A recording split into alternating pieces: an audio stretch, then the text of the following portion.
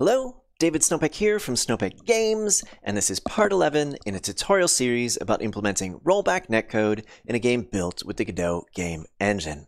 Last time, we talked about how to generate random numbers in a rollback safe way, how to reduce RNG-related artifacts, and the Johnny Appleseed approach to avoiding having to exchange a ton of seeds. This time, we're going to talk about how to do more advanced input prediction.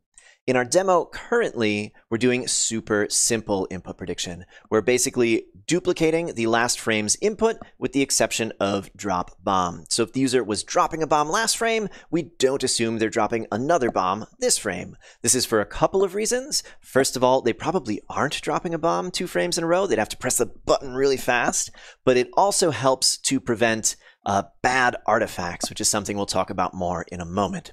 But fundamentally, this input prediction code is still pretty unsophisticated. How can we make it better? Well, let's first talk about the purpose of input prediction. Is it to try to accurately predict the most likely thing that the player will do on the next frame? Should we implement AI, machine learning, and statistical analysis? No and no. In the comments on one of these videos, someone asked about using hidden Markov models to do input prediction. Uh, hidden Markov models are used in machine learning. I personally actually used them in a natural language processing application years ago.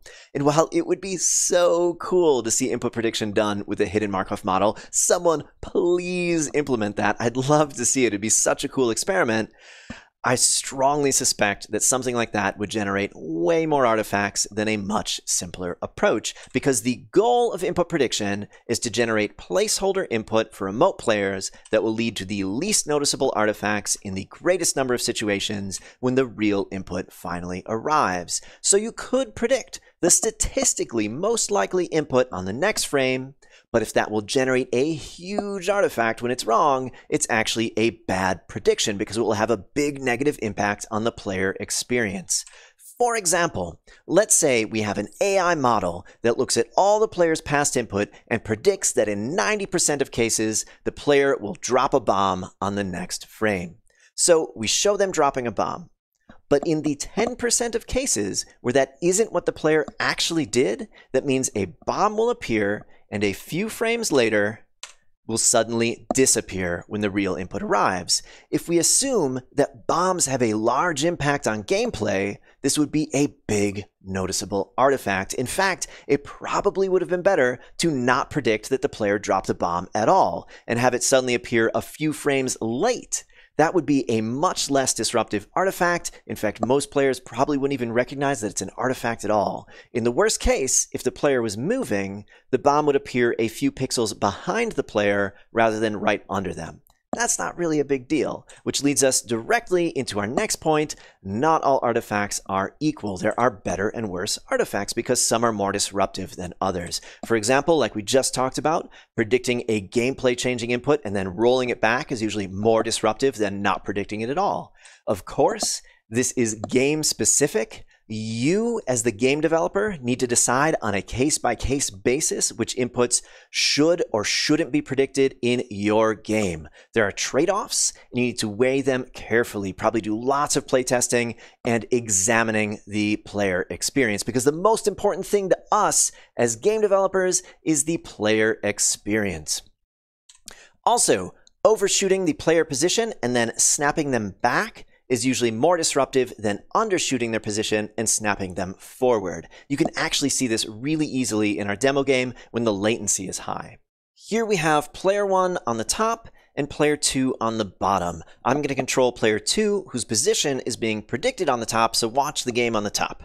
There is a latency of 200 milliseconds, which ends up being about 6 frames with our simulation FPS. I am holding left and then releasing it, holding right and then releasing it. You can see that after I've released it, the game predicts that I'm still moving in that direction, but then once the real input arrives, it snaps my character back. This is actually more disruptive if I alternate between pressing like up and left. Look at how much that character bounces around on the top. Yeah, that's a horrible artifact. The solution here is to check this second argument in our input prediction code, tick since real input. And use that to either stop predicting movement if it's over a certain number of ticks since we've gotten real input, or to gradually degrade the input as this number gets bigger.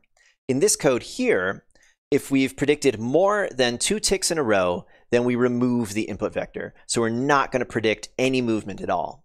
Here's what that looks like in practice. The latency is the same as before, but when I move left and then stop, right and then stop, you can see that the movement is choppier. That's the player getting snapped forward. The effect could be made a little less uh, choppy by gradually degrading the input rather than removing it completely. But I think this is better to make it easier to see for, for learning purposes.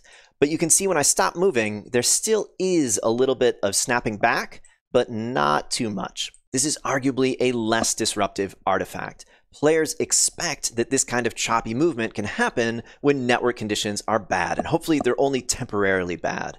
Whereas that big snapping back that we saw earlier is much less expected. Of course, this can vary from game to game. You can choose how you want to handle it in your game. For our little demo game here, I think this is all that I'd personally add to our input prediction to make it better. In a more complex game, there are some more things you might want to do, which is why we're going to take a brief look at the input prediction in my Retro Tank Party game. This is the predict remote input method on the tanks in Retro Tank Party.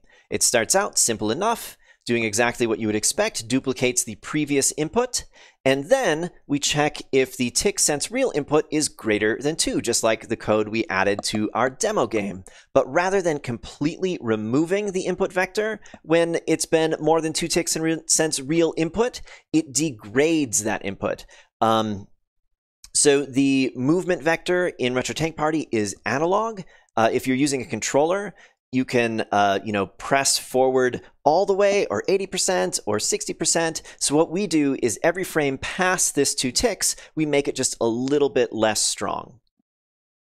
Then after we've degraded it, we quantize that input. So because the input is analog, there's actually like millions of possible values that the input vector could be. How could we possibly predict that correctly? We'd basically get the prediction wrong every single tick and have to roll back every single tick. So one technique that we use to avoid that is rather than having you know the the full range of values that the thumbstick is capable of is we quantize that value. We make it have a smaller restricted set of values. So we're doing that up in our gather uh, local input method somewhere up here. I don't see it at the moment.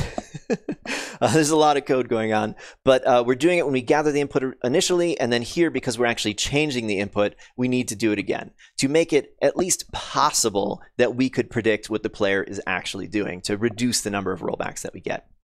Then if we've degraded the input down to zero, we fully remove it, and if not, we set that as our prediction.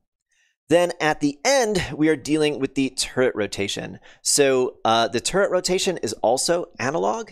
Uh, in the PC version, it follows your mouse uh, with a controller. Of course, it's the thumbstick again. So there's literally like millions of possible rotation values for this turret. How could we possibly predict that? Well, we basically don't. so for the uh, turret rotation, its key in the input dictionary is a negative number. And as we learned many, many parts ago, if you use a negative number for a key in the input dictionary, it will not be part of the input hash. That means if the player has a different turret rotation than we predicted, it actually won't trigger a rollback. Now you're probably wondering, how could we possibly shoot accurately if we're not uh, including the turret rotation in the hash? Well, if anything else changes at the same time as the turret rotation that is part of the hash, for example, pressing shoot, then we will trigger a rollback in that case. And that's how the bullets actually go where we expect them to.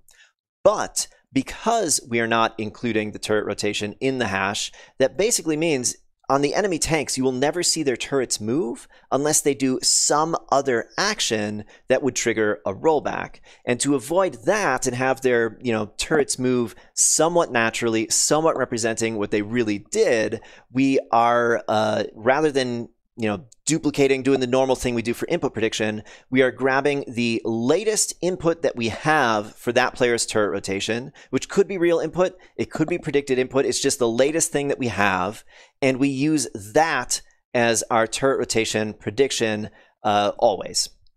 Again, it doesn't matter for the hash, but this makes uh, this makes it so if you have you know two people playing next to each other, looking at their individual screens, and you know this one player spins his turret around, the other person will essentially see the same thing. So I think that's all we're going to look at in this video. This doesn't cover every possible technique for improving your input prediction, obviously. We really just looked at some of the principles and a couple examples. You will probably need to experiment and playtest to try and find the right balance for your game. Anyway, please let me know if you have any questions in the comments below or on the Snopek Games Discord or any of the other places that I am on the internet. Next time, we are going to be looking at frame by frame debugging. We already looked at debugging state using the state viewer in the log inspector tool that comes with the Godot Rollback Netcode add-on, but this time we're going to learn about the frame viewer. It's seriously one of the best debugging tools for multiplayer games that I've ever used. It's great for tracking down network issues, performance issues, state mismatch issues, and even just debugging plain old bugs that are hard to reproduce. It's super powerful, and I'm super proud of it. So please subscribe on YouTube, check out snopekgames.com for a link to the Discord and more information about me and my work. Thanks for watching. Bye bye.